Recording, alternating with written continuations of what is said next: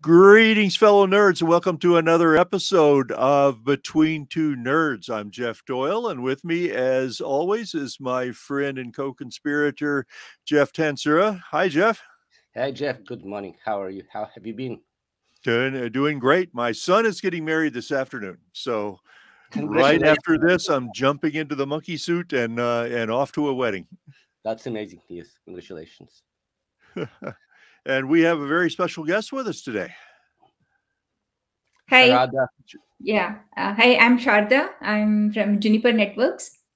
And I manage uh, uh, some of the ASIC chips that we build for the networking in, in, Juniper. Yeah, thanks for giving me opportunity to talk in this webinar. Oh, Looking thanks forward. for joining us, Sharada. Our pleasure. And we both, we've been following your articles on LinkedIn and online, and we think you are amazing. Thank you. So yes, I'll do some short intro to why we do what we do today. Yeah. uh, so normally we talk about routing protocols, software design at scale. However, there were a couple of topics that draw our attention. Uh, most significantly, recent discussion, none of least about 400 gig Ethernet, and it went in details to how we schedule packets, how pipelines look like, explanation of what different pipelines are and unfortunately, all of us who deal with ASIC vendors directly have signed numerous NDAs. So it's easier not to, to tell you what we cannot talk about than talk about something, right? So mm-hmm.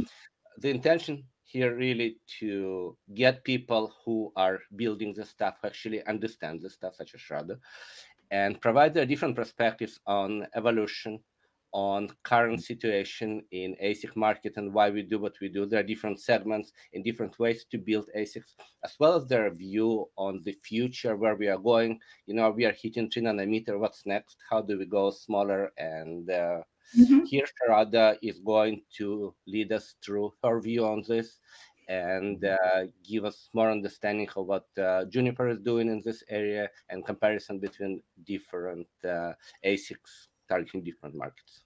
Yeah, this is uh, this is the beginning of an exciting topic because uh, there's uh, there's really a dearth of information, in my opinion, out there about uh, you know everybody talks about you know well you know you buy these particular switches because it has this particular silicon set in it or this particular chipset, but you know there's never really a lot of detail, in my opinion, uh, available about well why does that matter so much and what goes into uh, uh, you know what's under the hood um, in these ASICs, which, like Jeff said, you know sometimes is proprietary and sometimes uh, you know at least at a high level, you know it's it's things that we should all as engineers be able to understand more. And, and we have lined up great uh, number of speakers from different companies. So no one is getting preferential treatment as always. No marketing, no BS. That's our rule and you will see perspective from different vendors from different markets why they do what they do and uh, some comparisons as well. Yeah sure. yeah. you could go ahead and take it from there. Yeah Sharada, i believe you've got some slides for us right? Yeah. So yeah i thought that's probably a good way of going through my thought process so i don't miss out on anything. Uh, so yeah jeff asked me to talk about like you know uh, semiconductor industry uh, evolution and how the network ASICs evolved with it, like both in Juniper and outside of Juniper. And so I'm going to talk about that first. And after that, like, you know, I want to give a comparison of the two architectures that uh, we we are always like, you know, supporting on the Juniper networking silicon. And uh, pretty much the industry as a whole also kind of consolidated around uh, two kinds of architectures. One for like you know uh, fixed pipeline processing and the other one is the flexible pipeline processing right? I would talk about that. And um, after that like you know we can talk about the future trends where we are headed. Like you know we are in 3 nanometer process node now and what's next and everything. So that's um, that's how i plan to go about it. So feel free to interrupt me if you have any questions. So then otherwise like you know i'll talk through some of the slides i have here we're never so, shy about interrupting. Yeah, sure.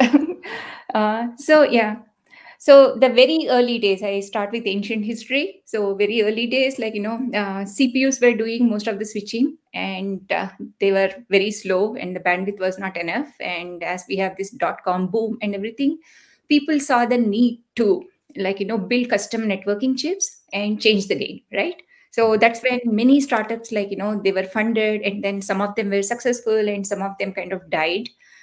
And the biggest challenge at that time was like you know uh, doing ip lookups in the hardware. Like you know whoever kind of figured out how to do that they pretty much had like you know some kind of recipe for success right? And juniper introduced its first uh, uh, routing system like it's 40 gigabits per second the entire uh, system uh, with ipv4 lookups in the hardware then at the late um, like you know as we are approaching 2000 like you know the end of that uh, last century we saw a lot of consolidation that was happening in the industry. Some startups died and then um, mainly juniper and cisco they remained as main contenders uh, on the routing chips. And then we have broadcom cisco and a couple of other small players like extreme and other companies they were there on the switching side right? Um, then uh, looking at the trends in this century, right? Uh, I would put them in three major uh, uh, segments, uh, or like, you know, the era or decades, I would call it. The very first one is the speed era. Like, you know, here, like, you know, the Moore's law is in full swing. Uh, if you guys know about the Moore's law, like it's like every two to two and a half years, you're doubling the density of the transistors that you can put in a uh, unit area of the die, right? So we were able to double the density. We were also able to like, you know, double the performance as well, like from every node to the next node, right? So in this era, we saw like, you know, rapid increase in frequencies and the transistor densities, right? And on the CPUs, were continue to dominate on the computing side. So if you look at it in this chart, right? I mean, this is like I'm putting Juniper ASIC as an example, but uh, pretty much like, you know, outside of the Juniper as well, like you would see the similar trend on the networking side, right? At the beginning of the century, we were building this uh, PFEs, which is like a packet forwarding engine or a unit, like, you know, that's doing the switching or the routing, right? So these PFEs consisted of about 10 chips and probably like uh, some 250 nanometer processors or something like that and they were running around 150 megahertz. By the end of this decade, we were actually like running them at much higher frequency, like 800 megahertz. So you see that's a five-fold increase in 10 years, right? And we also consolidated because the transistor densities were increasing. So we were able to put like you know a lot more uh, functions inside the uh, inside a single die. So we didn't need 10 chips, and then we were able to do all of that in one or two chips and that's where like you know you see like you know five-fold increase in the density as well right? And we were still at the sweet spot where memory is not a bottleneck external memory. So we were using ddr2 and rld ram for uh, any external memory access. And because we are getting all of these like advantages by going from one node to the other node like for example like you know you you have a chip and that is like either too slow or like you know too hot or like too costly right? You just wait for the next process node and then you respin the chip.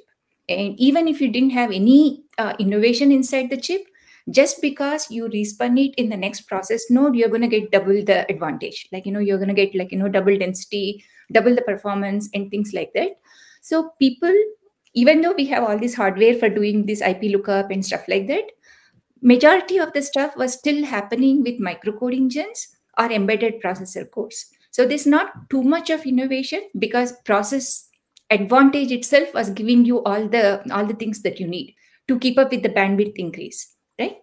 And Ethernet links, they were like, you know, around like, you know, by end of the decade, we were around 100 gigabits per second and SerDes were running around 25 gigabits per second. So at the end of this decade is when Juniper introduced this um, uh, new architecture. I mean, the systems based on the new architecture that we call it Trio, and that's based on the fully flexible packet processing, right?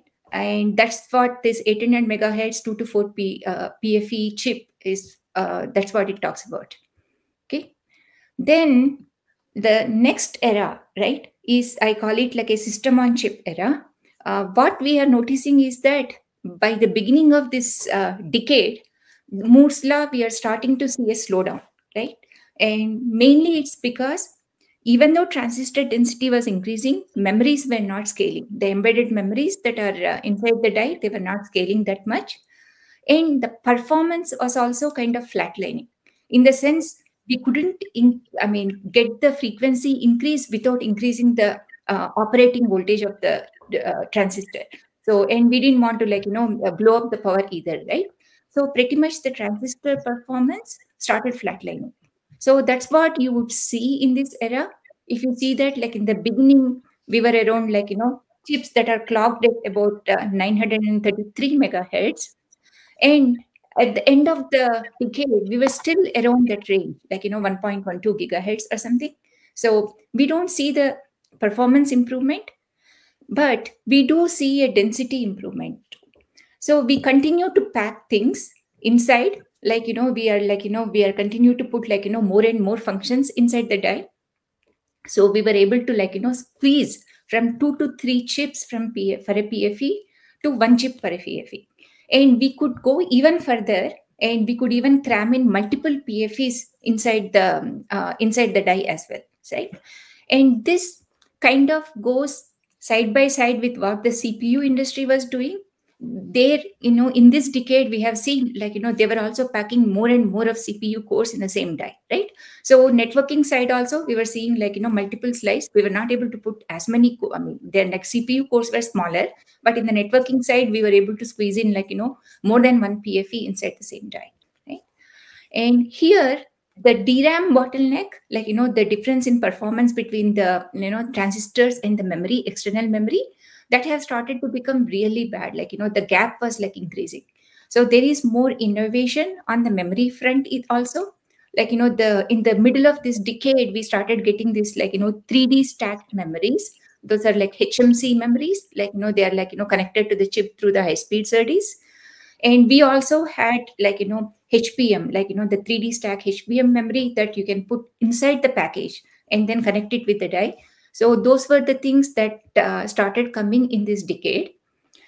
So here, if you look at the networking side, uh, we were consolidating more things like you know queuing and packet processing. All of that is going into a chip, and we introduced a new architecture. We saw the need to introduce a new architecture at this time just because like you know we were not able to scale as much as we were able to do in the last decade so that's what we call it an express architecture.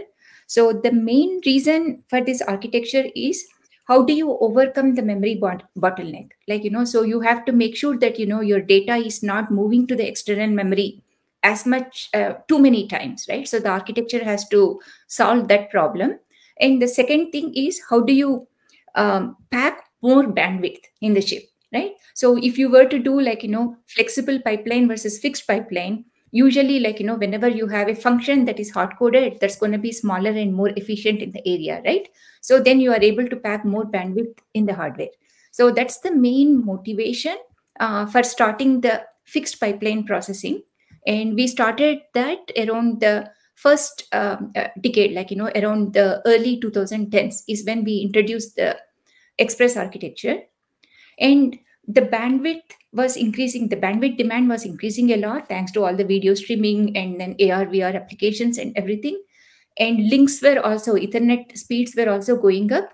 And by the end of this decade we were around 400 gig ethernet with 50 gig SerDes. And on the non-networking front you would see like you know more domain specific architecture so they were also seeing the same thing that you know they, you cannot do everything with the cpu right so you need like you know more uh, uh, custom chips that can cater to specific applications. So we had GPUs that for graphic processing, and we also have started seeing this proliferation of um, TPUs and other like you know machine learning chips like AI chips for doing the machine learning training and everything. So the thing about this decade is that people were so focused on like you know packing so much in the die, right? So the die sizes have gone, gone up so much, like, you know, for the high end networking chips. And also for like, you know, if you look at the CPUs, we have reached the reticle limits of the die. Like, you know, reticle limit is the uh, is the maximum die that you can cut out of the wafer using the existing manufacturing processes and you can't go beyond that unless like you change some of the like you know process in the equipment. And the downside of going uh, with that reticle limit is that your defect density is also increasing exponentially. So if you have like more defects in the die then your yield goes low. And if the yield goes low the cost of the die increases right? So all of this we were hitting pretty much a wall on how much you can grow inside the die so that's where uh, this decade ended where you know things are all packed fully you have no space to grow and this is so much you can do then what else can you do after that right so let's stop at this point and uh-huh. try to kind of identify a number of conflicting trends mm-hmm. so mm-hmm. one of them is obviously the die size its physical limit and you cannot go above otherwise you mm-hmm. yield that goes to nothing uh, we need to decide how do we use space available, whether it's your memory access, and what do you do with it. Mm-hmm. Uh, power consumption is obviously very serious consideration. Yeah. Mm-hmm. And uh, what's also interesting is uh, the frequency doesn't grow. If we look at all modern silicon, it runs at about 1.5 gigahertz, right? And it's been like this for a really long time. So you really need one clock per packet, and this is where we hold it. And I think we won't see any significant increase in frequency. It just doesn't make sense. Mm-hmm. So we are not growing in frequency, growing number of cores while kind of normal way to scale out uh, increases power consumption and efficiency in between. So how do we trade off between all of these different things and continue growing? Yeah so that's where right um, uh, i was talking a little bit about that. So we need we cannot have a one silicon that can do everything right? So if you really want like that's where we have to make the trade-offs and build different silicon hardware for different applications. So if your bandwidth let's say like you know you are in a core routing or like you know transport routing system and bandwidth is the highest uh, um, uh, important like you know most important thing that you want to get. But you can go a little bit easy on the scale or you can go a little bit easy on how many protocols that you want to support because mainly you're doing like you know l3 forwarding and stuff like that right? You could build a silicon that can compromise on the scale so you are reducing the size of the die. And you can also like you know do more like you know hardware uh, hardware acceleration like the fixed pipeline that i was talking about which caters to specific applications. So that's how people tackle the problem in this decade when they saw that you know they cannot grow anymore they went back to the whiteboard and started thinking about what kind of architectures that we can build that will cater to the specific applications. That's where like you know you saw the tpus come up like you know instead of using cpus right? Similarly on the networking side also you have seen like you know people starting to differentiate within the router itself. The routers like which have high scale which have low scale the routers like you know which can do like you know more protocols versus like less protocols right and there there is more innovation on the architecture front. Before like you know like you know memory was like you know memory memory bandwidth was always available right? Then you would send every single packet out to the external memory for buffering right? Now when you figure out the memory bandwidth is precious you have to like come up with a scheme like you know what can i do right? So then there are things like okay i'm not going to send everything to the external memory. I'll keep them on chip and only when the queues are getting congested i'll go to the off chip. That's one of the things that you know uh, we compromise. Like instead of giving like you know full bandwidth to the external memory. So there is um, there is this innovation on the architecture front. And there is um, there is this segmentation in the sense like you know you are not building the same chip for uh, that caters to every application starting from core routing to switching and um, there is like you know more and more of um, uh, i mean it mostly it's mostly innovation. I mean how do you reduce the data movement right? That solves both the power as well as the memory bottleneck. So that's what that happened i would say in this century in this decade sorry in our century yeah. so besides the way you are processing packets do also see the differences how they're connected? So if you need more bandwidth and functionality you would have more uh, SerDes dedicated to io versus memory and other way around if you need seven levels of QoS and BRAS functionality. Yeah.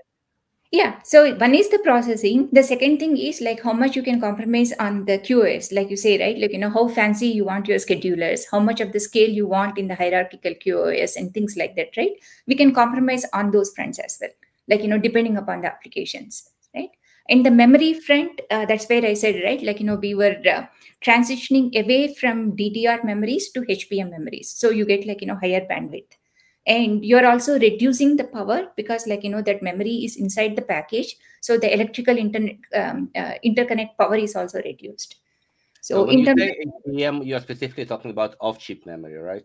No, when I say HBM, I meant the 2.5D package where okay. You actually bring that, uh, yeah, bring the HBM the 3D stacked uh, external memories inside the package. So that's what I meant. So that kind of uh, gave both bandwidth advantage and the power advantage. Uh, because like you know it's uh, so close to the chip so your latencies are slow and your power consumption on the electrical interconnect is also low. Makes sense. Absolutely. Okay. Okay so yeah so we were at the at the end of this decade we were with the chips that are pretty big and pretty fat right? And we can't uh, grow beyond those right? So that's when we entered this era like you know where people are like you know starting to investigate more into what can be put in the package right? So here the focus is not to build a biggest die that can fit the entire package but you build more reasonably sized dies and then connect them together with like you know short like die to die links and put them in the package. So that's what we call it like a system in package era. Uh, if you look at it cpus are already doing that. Like you know there's apple and amd as far as i know they have this multi-chip um, packages. So they have like you know they put multiple like you know this uh, processor dies inside the package. And they also integrate the hbm so even on the networking side you see more of that happening like you know heterogeneous integration. When i say heterogeneous each die could be in its own process. Like you know you have a HBM that's like a memory and you could have some chiplets that could be in its own single uh, different process and then you can have a core die right? So that's where uh, uh, the market is trending now uh, because we cannot grow the dice anymore. So we have to grow the package and make the packages like more complex so question the, most people see external messaging where one company would say we are single monodie company and that's why we are so great. Another would say, look, we're using 25 chiplets and that's why we are so great. Mm-hmm. But I think it would be good if you could provide some insights as to where would you use one versus another and where are the trade-offs.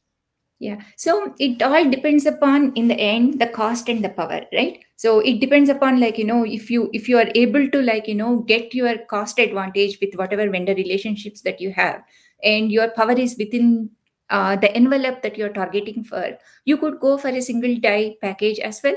Uh, but then if you want to grow, like, you know, let's say you want to like double the bandwidth from what you had from the previous chip and your process node is not giving you that advantage. And then like this doubling the bandwidth is important for system perspective right? Then you would go for the multiple uh, die package. It depends upon like you know how much um, uh, um, yeah it all depends upon your uh, cost and power envelope like you know what you're trying to achieve in that um, in that time frame right? So there is like you know both uh, pros and cons. Uh, if you put multiple dies in the package package cost is more expensive whereas if the die is bigger die cost is expensive. So that's where like you know uh, specific to the application you have to make that choice. That's what i would say. Great. Thank you. Okay. So then yeah on the we have like one more thing we have seen is like in this era you would you have, we have started seeing more and more of the smart NICs too, like you know the DPUs and IPUs, where you have networking functions are also going into the NIC to offload the CPU servers. So we have seen a more proliferation and a lot of startups in that area. Okay. There is one uh, publicly announced device, which is Aruba Switch, that has been NICs in it, eight or 16 of them. So we already see switches that actually use uh, and not NPUs but smart NICs as uh, uh-huh. I/O interfaces. Okay, uh, with the multiple die packages, you mean? No, they use a number of pins on the smart NICs or okay. Yeah, to yeah. actually process the packet. Uh-huh. Yeah. Okay, so yeah, this is for the uh, networking silicon trend. Uh, next topic, um, unless you have any questions, I want to go a little bit deeper into the two architectures that I talked about, like flexible. Uh, great. Yeah. Sure. That's okay. Yeah. Okay. So these are the, I mean, uh, packet forwarding architectures at Juniper. So like I was telling uh, before, like, you know, one size doesn't fit all, right? So we can't have like one silicon and then we say we can do everything from edge routing to data center switching, right? So because each application has different uh, requirements, uh, if you look at the business edge routing cases, like, you know, your logical scale is high, you have more congestion. So you want like, you know, more packet buffering and you have like more protocols to support as well, like more, uh, more uh, combinations of tunnels and stuff like that. Whereas single chip bandwidth, you probably don't need that much of it there. And core routing comes kind of like next to it, where you do need like a larger route scale, but it's not as large as what you need in the edge routing. Uh, you need packet buffering, but there's a potential for oversubscribing the packet buffers. And header processing, mostly you're doing like, you know, L3 forwarding or MPLS label switching. So you don't need like, you know, too much, uh, too many fancy protocols to support. Then comes the data center switching, right? In the data center switching, you just need like, you know, uh, pretty high bandwidth switches because of all the scale out architectures. Like you want to connect like, you know, tons of leaf and spine uh, switches together. And header processing is probably the minimal. Uh, you are either doing the L2 forwarding or you're doing some kind of VXLAN or NVGRE uh, stuff packet buffers is also minimal because they the, they will control the congestion with other mechanisms like ECN or things like that. They we do we don't want like things to be congested inside the data center network, right? And logical scale is low as well because you are not doing like you know millions of route lookups or anything, right? So those are the different um, uh, applications, and as you can see, each one has different need, right? So in Juniper side, we are focusing mostly on business edge, that the edge routing on the left side, and also core routing, right? And we are targeting Trio um, architecture for the uh, edge routing applications. And we are doing core routing. We are targeting our express silicon, which are like, you know, pretty high in bandwidth and power efficiency. When it comes to data center switching, uh, we continue to use merchant silicon because like they have figured out how to do these switches like you know pretty high efficiency and then with low cost. So we decided to use the merchant silicon. So i would talk about trio and express in more detail now.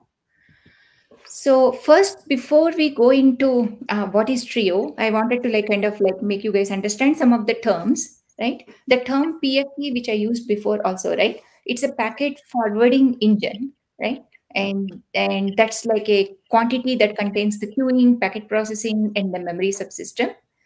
And a router whether it's a trio router or a ptx router or any router um, uh, that like you know any merchant silicon builds uh, the router consists of either one or more than one pfes um, that are like you know put together through a fabric right? If there is only one pfe you don't need a fabric. If there is like more than one pfe you have a fabric some people do the fabric using Ethernet, like you know they just use the Ethernet links to connect to each other, like on the uh, connect between the two PFEs.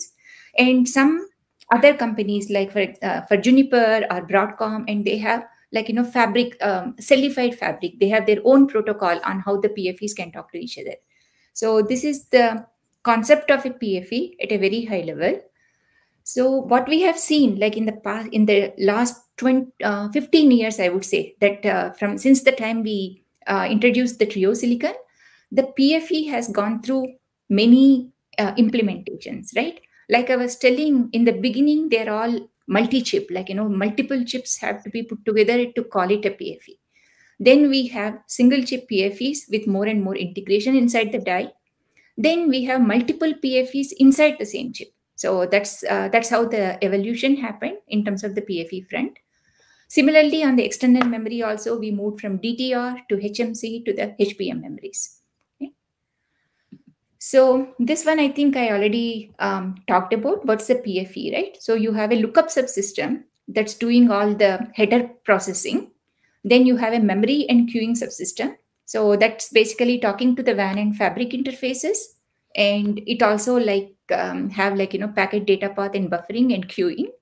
And you have external memory The external memory in this case, I showed it like um, uh, here, like I said, data memory and deep buffer, right? So deep buffers are mainly for are the delay bandwidth buffer, like you know the place where the packet resides when there is a congestion in the network. Then the data memory is mainly for like you know uh, it contains the tables, like you know the fib scale, the fib tables, and then any tunnel scale, tunnel tables, or anything that's you you need it for packet processing. It can also like hold statistics and stuff like that. Any questions? there? Yes, I think uh, I'm not sure what's further on this slide. Uh, I think it would be useful if you describe uh, walkover packet as it traverses yeah. the PFE, whether yeah. you are looking up only headers, whole packet, yeah. how do you attach mm -hmm. metadata as packet traverses? Yeah, sure. Yeah, I I had a lot more detailed slide, but that would take the entire hour. So I kind of cut it down a lot. Uh, so I would try to explain it a very high level, right? Um, so if you look at this whole black box, that's the packet processing engine. You would see some small squares here and you only see like what, like 12 here, but in the real chip, you have like, you know, we have hundreds of them, like, you know, 160 in the last chip that we were shipping. These are the packet processing engines, right? So these engines, uh, they get the packet head uh, when we call the head, the head can be the first um, 192 bytes or 224 bytes. I mean, it depends upon the implementation or like, you know, 128 bytes. These heads go to the packet processing engines uh, from the Q MemQSS, which is the queuing subsystem, and they stay inside that engine. Like, you know, a, a packet stays or packet head stays inside that processing engine until the entire processing on that packet is done right? and the processing is happening through microcode instructions. So that's why we call it like a run to completion. And this is the key difference between like a pipeline architecture versus a an architecture that depends upon the processing engines. In the pipeline architecture packets are continuously moving through the pipeline right?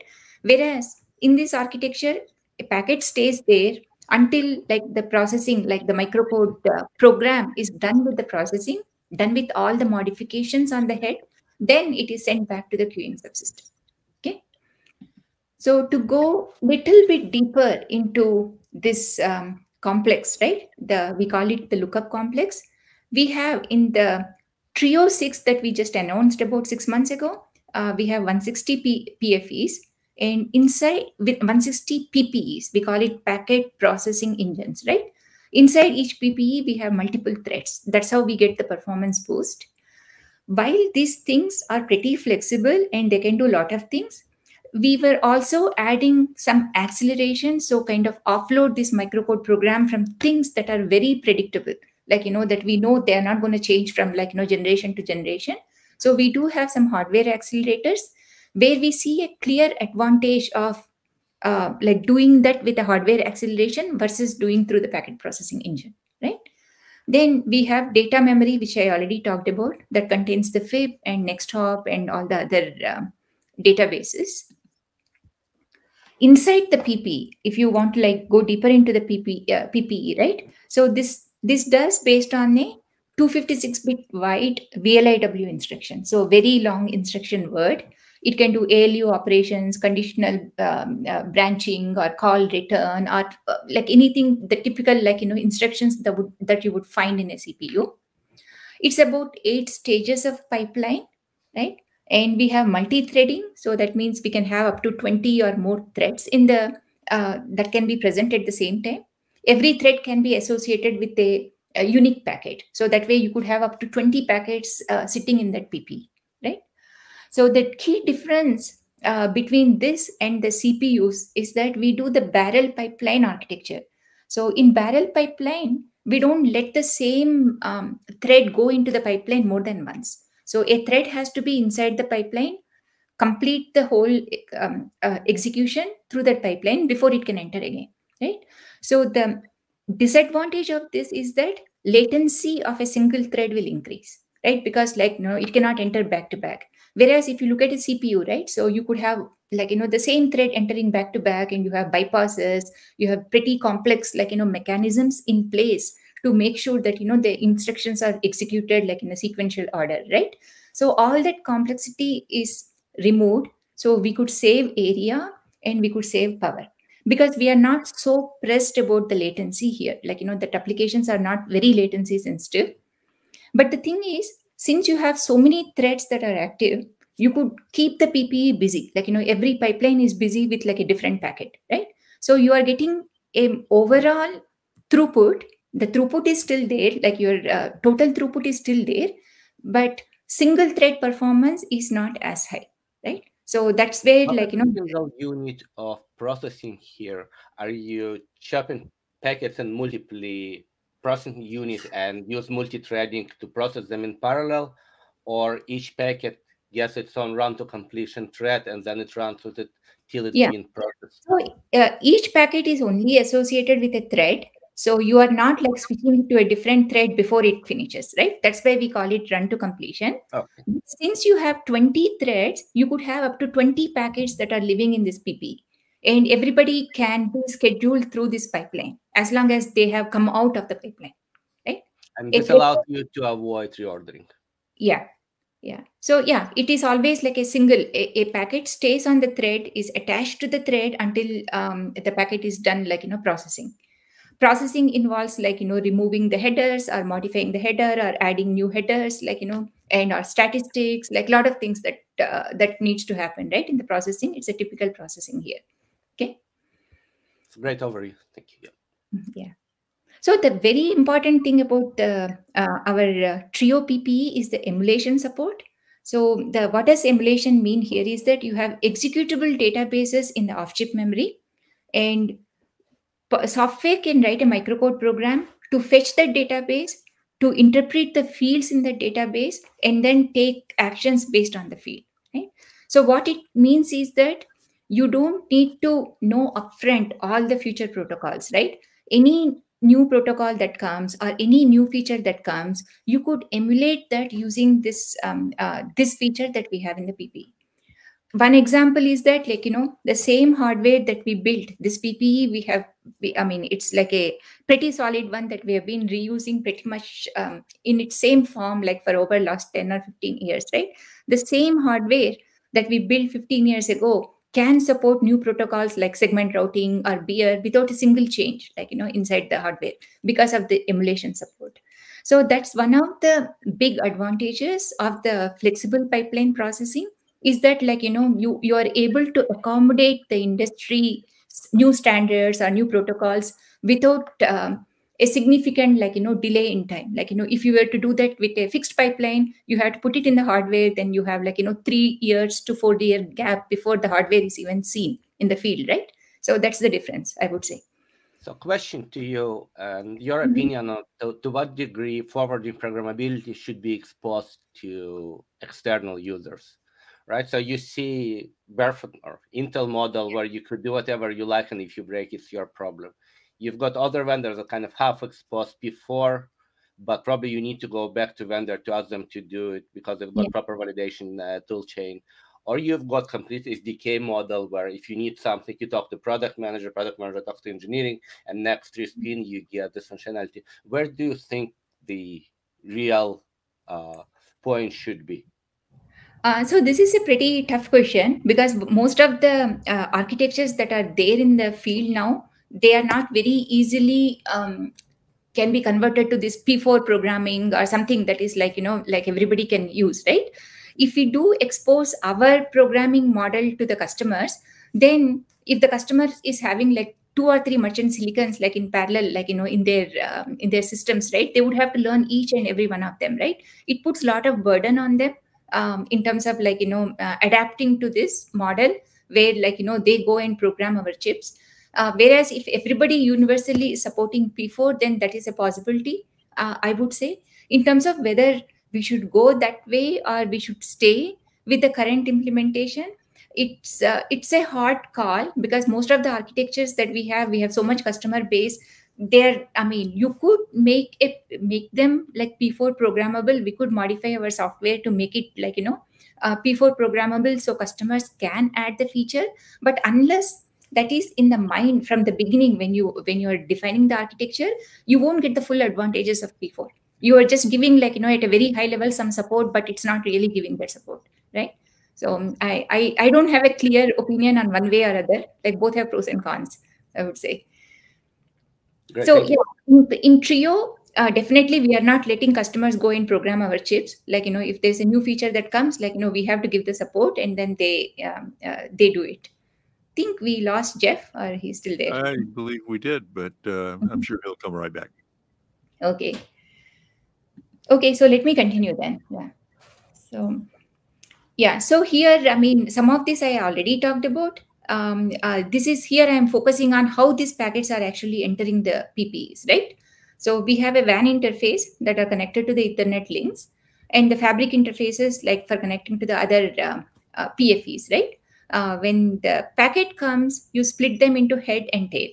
Head goes to the PPEs; they are getting sprayed. Tail stays in the on-chip memory right?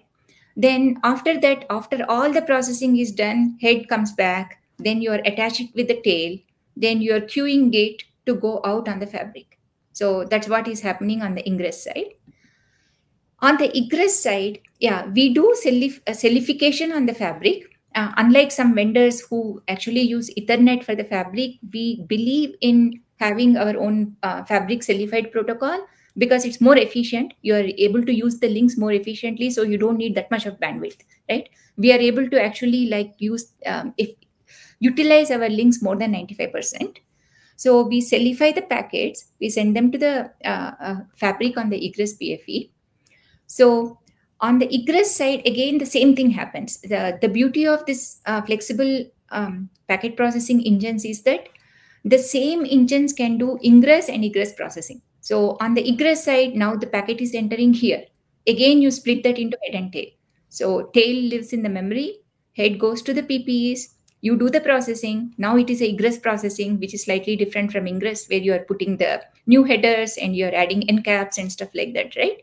Then it comes out. Then we go through the egress scheduler, right? Like the um, rich hierarchical scheduling that we do on the egress side. And then the packet goes out on the WAN interfaces. Any questions? Yeah, question here. Usually egress processing requires somewhat less power than ingress. Mm-hmm. When you build the chip, do you account for this or they're completely symmetrical? It doesn't really matter whether you do ingress or egress processing. So in this case, in a flexible processing, it's it doesn't care. The PPE doesn't even know what it's doing, egress or ingress, right? It's a generic PPE so the software program loaded into it based on like you know where the packet is coming from it's doing either ingress or egress processing but when we come up with the number of ppes that we want to put we look at typical programs like you know what's the uh, total ingress processing and total egress processing we put them together and come up with the number of ppes that we want to support like you know for whatever the packet size is everything this is agnostic of what processing that we do the packet processing engines they are generic microcode engines Okay. Thank you. Yep. Yeah. So this is a very high level picture of uh, the queuing of the trio architectures that we use. We call it input and output queuing, that CIOQ model, where a packet needs is queued both on the egress and on the egress, right? But the ingress side, we go easy on how many queues that we have. We only have like, you know, couple of queues for every egress PFE. On the egress side, you would see much like um, a lot deeper or like you know long, longer queues 128 queues we support the reason for the scale is we want to give the hierarch- hierarchical QoS HQoS uh, support for the customers. The, in the business edge, that's one of the important applications, right? Like we need to give the support. So one thing about this is that this architecture is um, power-wise, it's not that great because you want to queue on both ingress and egress, right? The second disadvantage is that the actual drops, let's say one WAN port is congested and the queues are building up and you need to drop them, right? You have to get them all the way to egress. Only then you would know that, you know, the status of the WAN queue and then you will drop it. So there could be a little bit of unnecessary data movement that can happen. But when it comes to scale, uh, this is like pretty superior compared to the other architecture that I'm going to show you uh, in a few seconds. Okay. Any questions here? That's, I mean, you're going to talk about uh, VOQs and differences, right? Yeah. Mm-hmm. Yeah. yeah. Okay. So now let's talk about the Express family. So the main intent I talked about is we want to do everything in a compressed format very quickly. And then we also want to have like, you know, lean memory and less data movement. So those are all the very high level goals, right? With the Express. And we can do that, but we cannot, we just cannot target the business edge application. It has to be a different application, right? So the differences are pipeline packet processing. And you could see that the black box is now completely different here, right? So you have like, you know, sequential blocks, a packet or a packet head, I would say. I mean, packet head, it goes through each block and then each block is doing a part of the uh, processing, then giving the results to the block downstream. And at the end, it comes out. Similarly, on the egress also, because egress always have like less processing, you have less number of blocks, and they do the same thing, right? The advantage of the fixed pipeline, like we said, is that it is like you know very predictable latency so you know like you know the whole pipeline it's going to end in some number of cycles right and it also it does give you a little bit advantages in terms of flexibility too in the end in a sense like you know you finish the entire processing and you want to do more processing you want to look deeper into the packet right? You could always recirculate it back and then send it through the pipeline again the modified uh, packet right? Once you modify the packet you can send it through the pipeline again. So that way it does have some flexibility. And the other important thing here is that unless you are accessing the memories on the chip, this small latency is going to blow up again. If you are like, you know, each, each of the packet processing blocks have to go to the external memory for its tables, then this latency is pretty much decided by the external memory latency, right? So we have to keep everything on the chip, all the uh, tables, right? So the advantage is that you're going to get very predictable latency. The only disadvantage is that the scale is limited because you can't put like, you know, um, gigabits of space uh, on the on-chip SRAMs, right? That's the main thing on the packet processing. On the VOQ architecture, which I will show with a uh, picture again. So the packets are only buffered once, like, you know, buffered and queued once on the ingress, right? And once the egress PFE, and then they request the egress PFE, we have the same request grant mechanism and slightly modified protocol there, and where you are trying to send more packets uh, with one request instead of a single packet, you are uh, single cell, you are sending more packets with one request. So once an egress PFE says, okay, send me the packet, right? So and the packet goes to egress, it doesn't get dropped. It will it will just go out. So that's the good part that you you reduce the unnecessary movement, right? Because you are not going to egress and dropping the packet. And you are also reducing unnecessary movement to the external memory because or the queue because you are only queuing the packet once. That's the main advantage of the VOQ architecture. Before I go into the VOQ, I want little bit, I want to show little bit details of this packet processing engine. So you see, these are all the typical blocks that you would find in any fixed pipeline packet processing. Like, you know, you look at Broadcom chips or other chips too, right? So you have a parser, source lookup, and you have filters that are doing the ACLs. Then you have a destination lookup that's doing the longest prefix match. Then you have the next hop processor, and then you are rewriting the packet, right?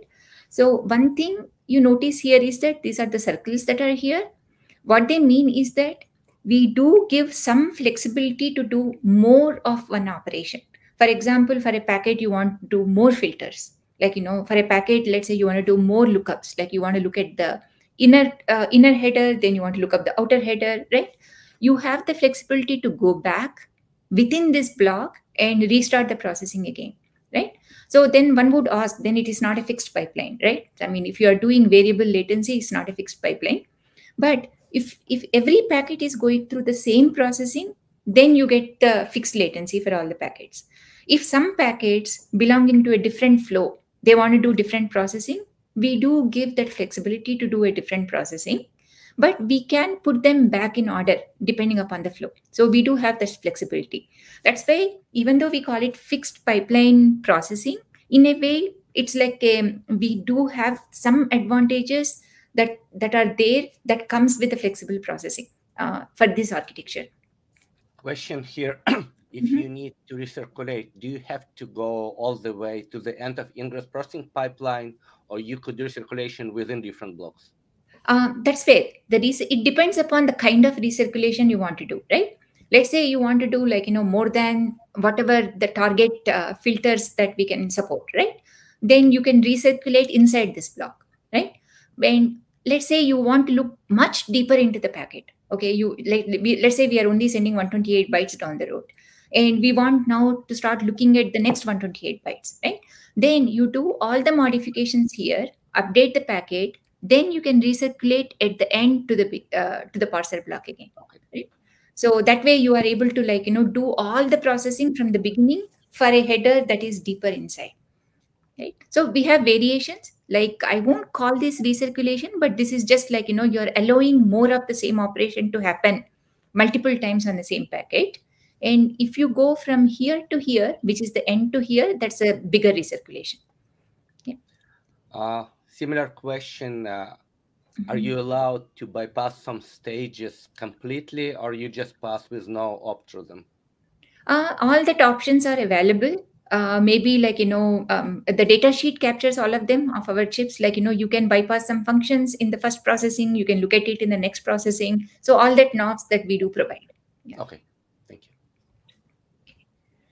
Okay. So yeah this is fixed with uh, with the ability to do recirculation and with the ability to do more of the same operations within the blocks, right? That's the uh, express architecture.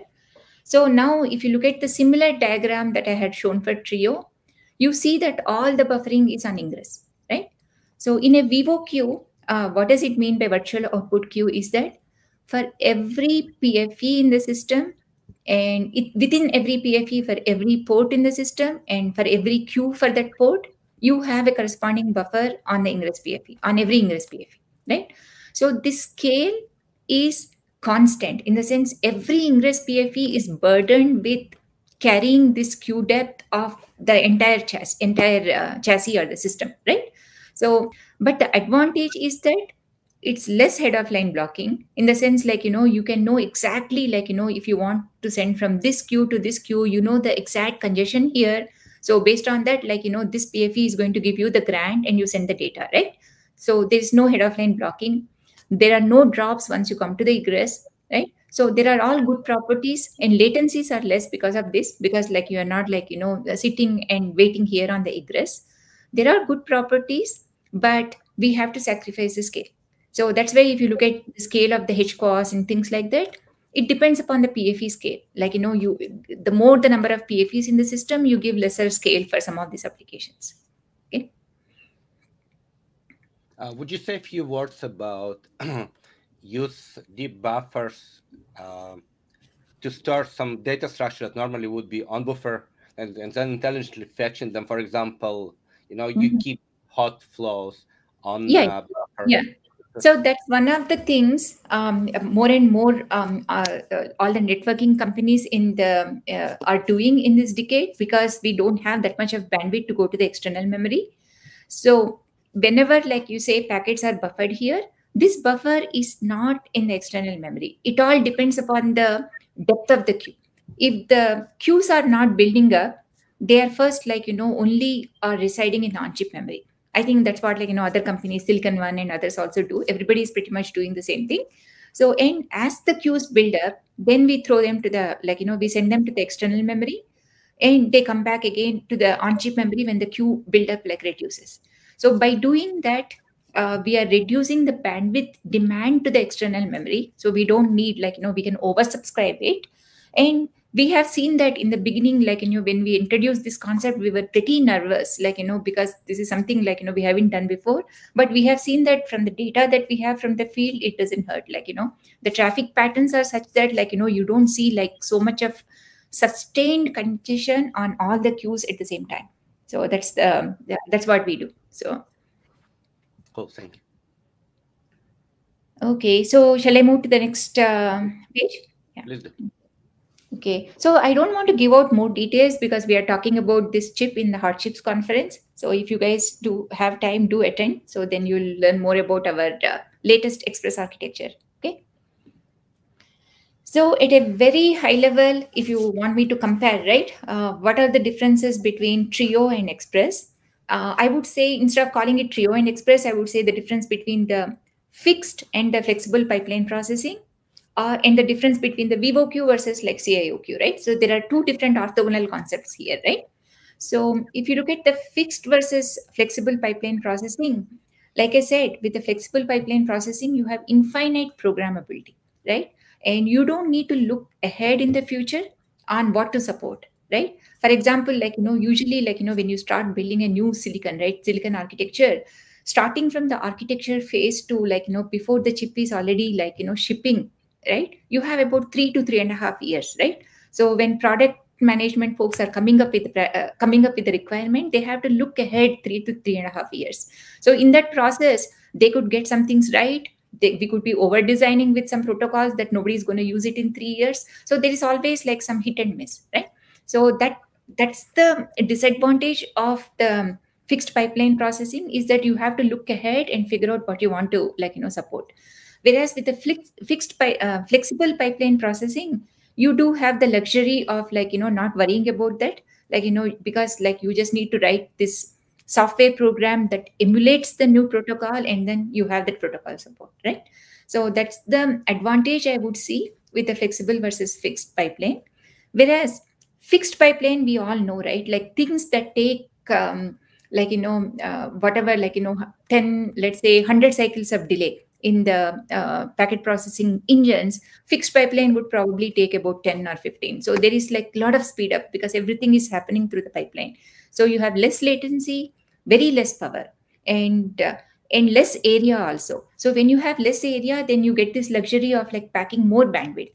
So that's why if you look at our um, Trio versus Express chips, or if you look at any other merchant silicon who is doing between fixed and uh, flexible pipeline processing, the fixed ones can pack more bandwidth because they are not spending so much of the die area for packet processing. So that's the uh, advantages and disadvantages. Then if you look at the power also, power per gigabit, right? Since you are packing more things, uh, your express or the fixed pipeline is going to do superior here. But when it comes to the scale, that's where I talked about the scale, right? This is not so with fixed and flexible pipeline, but this is more like the choices we made like you know we wanted to go with the CIOQ architecture for Trio, whereas the VOQ for Express, right? So CIOQ architecture has the advantage that you could get like a larger scale and you could get like a lot more superior QoS and scheduling properties on the egress because you have the entire data there, right? You can rate shape and you can do all the things like more accurately. Whereas on the Express side, uh, your scale is limited by the PFEs. Like, you know, the more PFEs you add to the system, the VOQs per PFE go down, right? So you cannot like have that much of scale. So that's the, this is actually a difference between VOQ versus CIOQ, say. And the other thing about the Express and Trio is that in Trio, we do go uh, give a lot of scale because of the applications that we are targeting, business edge. So our data memory that's holding the tables, that's all external memory. It's very fungible. Our route scales is like in tens of millions. Whereas in Express, we don't have the luxury to go to the external memory because the latencies are going to become larger. So we do most of it in the on-chip memory. We do give an option to go to the off-chip memory uh, sometimes, like, you know, when we wanted uh, larger route scale, but mostly it's in the on-chip memory. The scale-wise, that um, Trio is superior and Express, like, you know, uh, it's it's for niche applications like, you know, routing and uh, uh, transport routing and all that stuff Yeah. Yeah. different. So, uh, any questions? Otherwise, I'll go to the next slide. Uh, let, let's go to the next slide. Yeah. So yeah, this is just you asked me to show the trend, right? So we this is the graph I borrowed from one of my one of the marketing slides. So we do have like you know you see uh, the bandwidths are going up both on the both the architectures, but you see express architecture we can pack a lot more compared to the uh, trio architecture. Okay. And in terms of features right hmm? yeah so the feature wise like i said trio can support anything you want right so you can pretty much add everything whereas express we are doing better and better like you know by looking ahead so you do see that the gap is reducing but if you look at the differences like you know the ones that are on the top anything that has to do with the high scale or anything that has to do with some future application trio can support Express, we added segment routing, BIER, and all this like protocol support too in the Express 5. So, so that's the difference in terms of feature coverage. So I think that's all about the architectures. If you want, we can discuss a little bit more about that, or I can go to the future trends. Let's go to the future, and, and uh, I would also like to discuss with you uh, development in SerDes speed because it feels mm-hmm. like we are more and more gated by next generation SerDes than ability to shrink processing devices. And mm-hmm. uh, I mean, where do we go after 224 gig? I mean, PAM4 probably wouldn't give us anything more than that. Going to PAM6 is I'm not sure it's a good option. So there's a lot of ideas and not a clear view on that. So if you have, I'm not a SerDes expert, but I'll okay. see if you can answer. Okay. yeah. And b- before we go there, I just wanted to mention uh, on the uh, viewer comments, uh, mm-hmm. a couple of people just chimed in about what a great presentation this is, and I totally agree. Mm-hmm. And uh, one person asked if the uh, uh, the recording for this will be available, and yes, it will. This is uh, we always publish uh, to YouTube. Uh, so if you uh, look uh, for our uh, channel on YouTube, um, just between two nerds, you'll you'll certainly find this um, this topic on there too. As well as sixty other or so, sixty or eighty other presentations on all kinds of topics. Absolutely. Yeah. yeah, this is pretty informative. The thing that you guys are doing. So Okay, let me go to the future stuff, right? So we all know it's the end of Moore's law, right? But the bandwidth demand is like it's it's continued to grow. There's ever increasing demand all uh, all the time, and there's no end in sight with all these ML workloads and stuff like that. So where the future is headed, I would say, is that vendors, especially on the networking silicon side, will continue to offer different hardware that are specific for different applications. So that way we can optimize them better. So that's one trend I would see. Then the second thing I would see is that uh, people are talking about system in package, and we have seen a lot of that that's happening on the CPU front. More of that will start happening on the high-end networking front too, in switches and like you know high-end routers and everything. System in package. Uh, where you do heterogeneous integration of chiplets, memories, core dies, everything that you can pack in the package, right? So once you're done packing stuff in two dimensional stuff, right? Now you have to start going up in the third dimension, right? So that's where the 3D packaging will come into picture. And uh, we, we, I do see, like I wrote it in one of my articles about the memory bottlenecks, that uh, this is inevitable. That's, it's going to happen soon because you see that right srams are not shrinking right you know eh, we are memory transistor even if you are getting the transistor uh, densities going from one process node to the other node SRAMs are not like shrinking as much. Uh, for an example, when we go from 7 to 3 nanometer, you could see 50% reduction in the transistor uh, area, whereas SRAMs, you are only scaling by 80 or 85%. So when you do that, like, you know, uh, and then on the top of it, you are increasing the bandwidth, you want more queues to stay on chip, shallow queues those shallow queues need that bandwidth, right? You know, the current, I mean, without like filling the entire chip with SRAM, then you don't have space for any logic, right? Then one obvious choice is that they can move to the third dimension, right? So that's the 3D package, like where you could actually move the SRAMs to the third dimension. You could also move some logic with the SRAM, right? The beauty of the 3D packaging is that uh, the new trend here, like, you know, new technology here is not to use the TSV, which are like, you know, uh, thicker um, uh, vias. They use copper hybrid bonding. They call it CU-CU bonding or the hybrid bonding, where they are a lot um, thinner in the diameter. And then their uh, the rules like keep out regions and everything are also a little bit more friendly. So the bandwidth that you can get from the die in the top or bottom to the next other die, right? It can be 10x more right it's almost like you have that sram in the same die you would potentially like would not even see the difference right so that's where i would think uh, people would start like exploring the technology more and we are waiting more of that to happen on the cpu front then we can also like go and start using it right? Then we have to, even with all this SRAM stuff and everything we have to continue to reduce the data movements. And we have to come up with novel schemes like you know hierarchy of caches and stuff like that. So you are like you know reducing the data movement. It has like a multiple advantages. It reduces your bandwidth pressure to the external memory. Also it reduces the power and area everything in the chip right? And there's another trend that's happening which is probably like more relevant for the uh, processing like the general applications like the in-memory computing where you could send the data to the memory and then the memory can do some of the computing, right? I don't see how the networking chips can make use of it more efficiently, but there is some possible applications. Maybe you could do like some of the security functions there when the bandwidth demand is not that high. Like, you know, where if every packet doesn't need to go to this um, IPsec or something like that, right? That could be done in the in-memory computing. Some network chips can take advantage of it, but I don't see how we can make use of it in our routers or chips like that. So that's what I would see. The biggest thing I am thinking that would happen is the 3D packaging, right? In terms of like, you know, how to get the uh, extra memory bandwidth. On the challenges on the power front, right? So we are seeing that process node itself is not getting the power advantage. You are barely getting like, you know, 15% reduction or 20% reduction. You're not getting anything more than that, right? So you have to further reduce the data movement. Like, you know, we have to continue to innovate on the architecture front.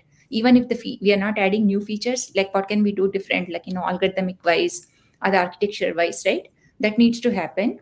And the other thing uh, which is happening a lot more already which we can make use of it more is to reduce the packets per second right? So that means before we used to build like you know a decade or like you know 15 years ago whatever packet processing logic we built we used to build it so it could keep up even with the 64 byte packets right? So then you are like you know stressing the packet processing a lot. But now we can make use of the you know typical packet size for like you know most of the common applications like video applications and stuff like that. And we can start playing with that like you know reduce the packets per second. And depending upon the application then you are also reducing uh, the amount of logic that you need for packet processing that's something we'll continue to play which is already being done but then like you know we will start pushing the boundaries right then EDA vendors, I think they have a very critical role uh, in this whole thing, like in terms of reducing the power. So they are already like you know spending a lot of um, uh, uh, R&D budget and then like you know research into like you know creating these tools that are capable of like you know doing automated uh, placement, routing, AI driven, and all that stuff, right? There also you could squeeze in some power because the, even if your architecture is like you know best and then you have the best microarchitecture if they are not placed properly like in the pd world right? And then like you know you're you're like sending the data all over the block right? Then you are uh, burning power. So eda front also all the innovations that are happening on the eda technologies that would help in further reducing the power.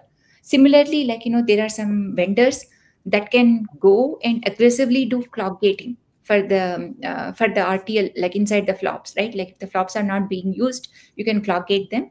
So that will play a key factor also in terms of reducing the power. Then the last one for the power is the uh, co-packaged optics, right? Like the one you are talking about, like you know, SerDeses are not improving. What can we do, right? The biggest problem like you know why the SerDeSes have to be like you know so big and so power hungry is because they need to drive this long electrical channel before they go to the pluggable optics right? So the channel consumes a lot of power. And then it uh, this is where if you look at the trend like you know you go from one generation to the other generation the percentage of the die power that's taken by the SerDes it's increasing. It's not like you know remaining constant because like you know SerDes like you know they need to drive more because as they end they get like you know they're not they're analog components so they don't scale as much as the process node. So there are several things that are involved there. So one way to overcome would be to put optics like you know the same the uh, pluggable optics just like you know you put them inside like the optic chips inside the package.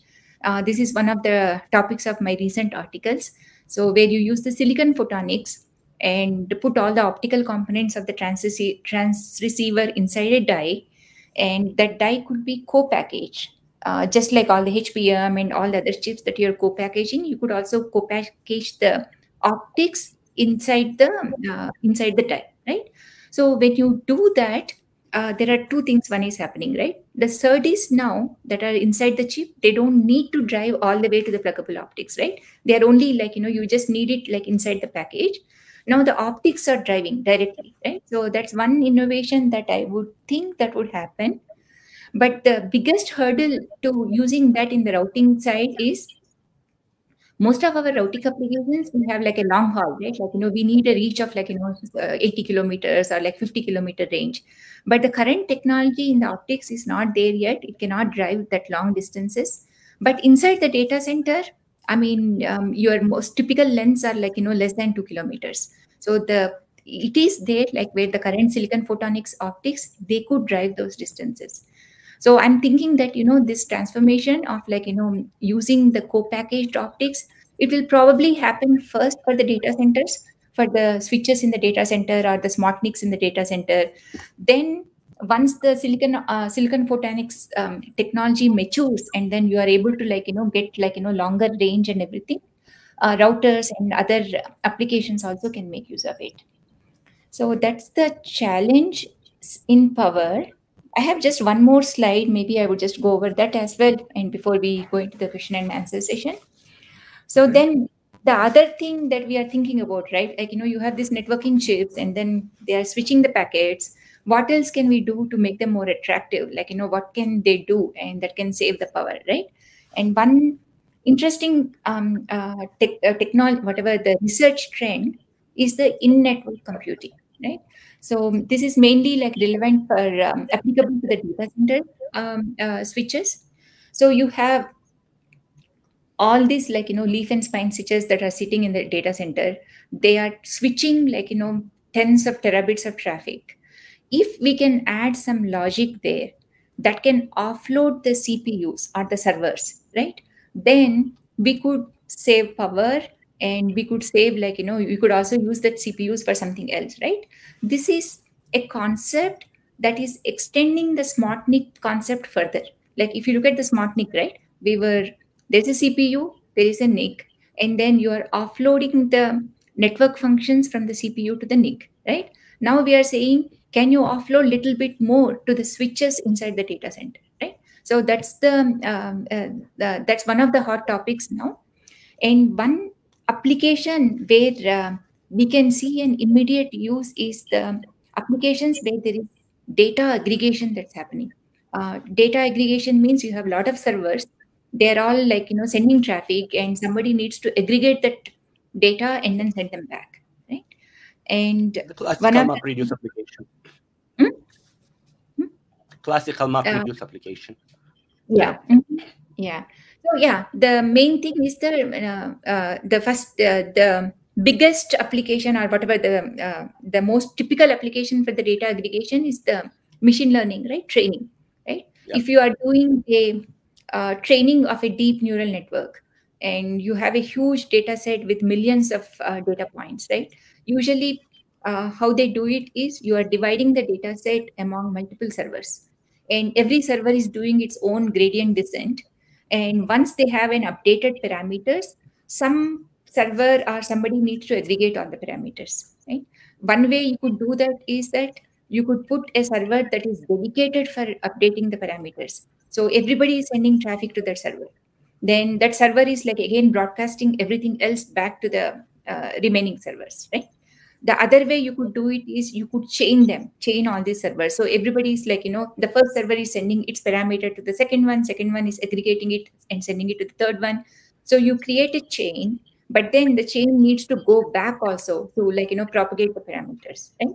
And that's a lot of delay right? So the the place where network switches can help is you could do the aggregation inside the switch itself so the servers are sending these parameters in i mean wrapped around as a packet and they're sending it to the switch and switches are doing this aggregation and they're sending it back to the servers. And we had we have done a research in juniper with mit on this one where we use the trio packet processing. That's the beauty of um, flexible packet processing again. We didn't even know that you know trio can be used for this application until like you know we figured out how to do that. So we were using that to do a training and we did see like significant improvement in the training time and the training performance. And for more results there is a paper there like you know that uh, you could check it out. So this is yeah this is the area where um, uh, different logics non-network functions can go into the networking chip and give you offload the servers right? There are other applications like you could use the caches the the memories that are there in the networking chip for the for caching the key value pairs. You can also try to do inference inside the network chips. You could offload and do some security functions in the or like you know other things like inside the network chip. So this there's a lot of research um, I mean, for it to get to the reality, we need people to be writing software applications that that can take advantage of it. Then the hurdle is that you know whoever is writing software applications, they need to understand the hardware, right? So that's where the, we have to overcome that bottleneck. P4 programming might help, but yeah, the, we need to figure out different ways of like making it a seamless process for the programming uh, program developers. I would say. Yeah, similar issues with whole edge movement, right? You need to mm-hmm. write your software in a way that could be partially processed at Z, partially central location, and mm-hmm. I mean, you need to understand yeah. the semantics and distance yeah. and data gravity. But this is an uh, absolutely amazing development. And I mm-hmm. remember early work on Memcache, the uh, Barefoot published. I mean, it wasn't very successful, but already mm-hmm. back then it was 2016 17 it proved yeah. some uh, future benefits from using network chip for mm-hmm. non-network mm-hmm. functions yeah so yeah that's all i have like you know i mean the future trends and then potential non-network applications that networking chips can see Sharada has been absolutely amazing. Thank you so much for joining us. I, I'm sure people really enjoyed it. Thank and, you. Uh, uh, so people usually watch it afterwards. Very few people watch it online, and uh, they send their questions either on LinkedIn, on uh, YouTube sometimes. So we'll let you know if there are some additional questions, so you could answer them. Thank you so much for joining us. And I see Jeff disappeared. Okay. Thank you. have a great Thank day. You for the opportunity. Yeah. Thank you. Bye.